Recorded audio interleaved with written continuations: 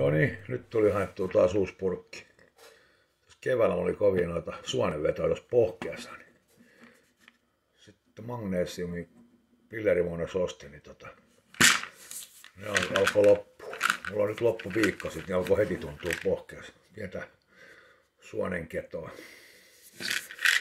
Ei mitään, nämä on hyviä apteekista saa.